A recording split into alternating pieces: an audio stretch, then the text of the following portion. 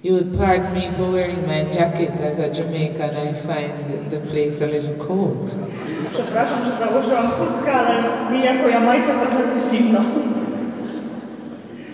Um, my name is Karine Wilson Bailey, and I'm the pastor of the Ebenezer Church. Nazywam się Karin Wilson Bailey i jestem pastorem kościoła Ebenezera.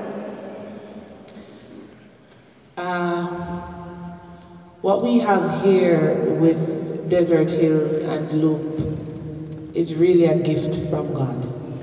Ta nasza wspólnota tutaj dzisiaj z Desert Hills i z Kościołem lub to jest naprawdę dar Boży dla nas.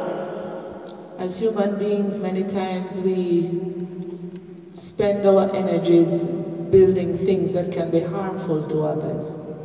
I my jako ludzie czasami e, spędzamy czas na budowaniu czegoś, co może kogoś innego ranić. We put money, Wkładamy w to pieniądze, we use our connections, e, korzystamy z naszych powiązań, and, kontaktów and anything we can get our hands on i e, czegokolwiek, czego możemy się chwycić. to cause harm to others. A w rezultacie tego robimy coś, co może. Przepraszam, co może rani kogoś innego. But we have chosen to build relationships with each other.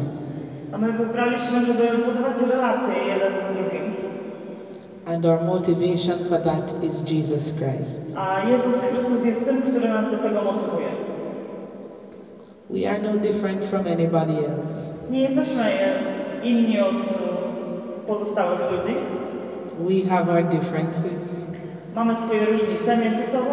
We come from different places. Pochodzimy z różnych miejsc. We grew up differently. Wzrastaliśmy w różnych środowiskach. But Jesus Christ becomes the lens through which we choose to view the world. Ale Jezus Chrystus staje się dla nas pryzmatem, przez który my chcemy widzieć świat.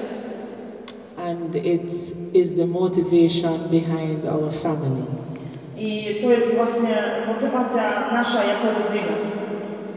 And so I want to encourage you.